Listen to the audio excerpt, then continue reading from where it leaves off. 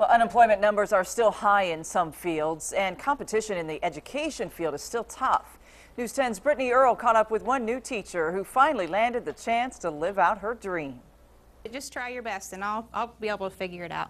I promise. Brittany Morse always knew the classroom was where she belonged. Her desire to teach started at a young age.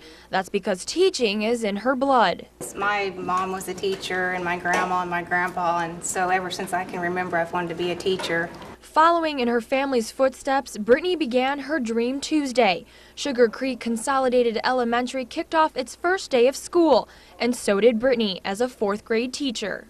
I was very, very excited and nervous at the same time, but when it's your own room and you're making your own plans, you think, am I going to do this right? But she says once she stepped into the classroom, she went into teacher mode, giving directions, Remember I said it doesn't have to be a vacation. answering questions, getting to know her students. She says everything just fell into place. They've kind of helped me to not be so nervous and you know, we sat down this morning and talked and they're nervous and we were I was nervous. So, you know, we talked about that and I think we've just made each other feel comfortable. A great first day only makes Brittany look forward to the future.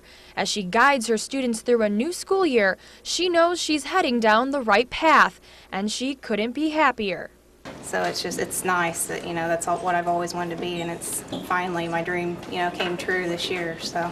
An accomplished dream replaced by a lifetime of lessons. In West Terre Haute with photojournalist John Tim, Brittany Earl, News 10.